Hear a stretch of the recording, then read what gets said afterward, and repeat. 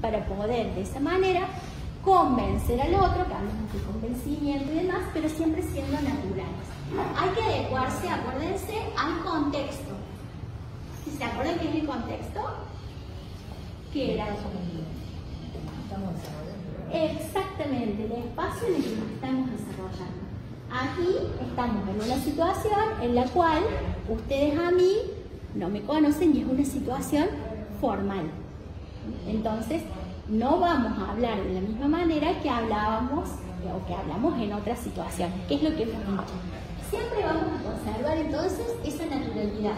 Es muy importante porque si yo vengo a la entrevista o voy a un medio y estoy fingiendo ser lo que no soy, no me va a salir lo que tengo que decir. Bueno, Pauli, eh, la primera princesa es lo que dice siempre.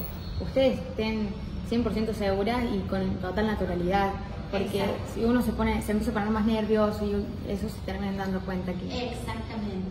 También tratar en esa naturalidad, vieron que ahí habla de claridad de ideas, de no utilizar un vocabulario que no nos sea conocido y que haga que nos trabemos, que no podamos avanzar. Hablar en difícil no es necesario, no hace falta. No hace falta que yo hoy acá me pusiera a hablar en términos universitarios. No, no hace falta. Siempre la claridad de ideas, la facilidad de expresión, la naturalidad nacen, surgen de uno y uno no necesita ser otra persona. Eso es muy importante a tener en cuenta. Vieron que a veces sucede que uno ve a alguien en un medio de comunicación y dice, ay, me gustaría ser como ella, hablar como ella, qué divino me encantaría a mí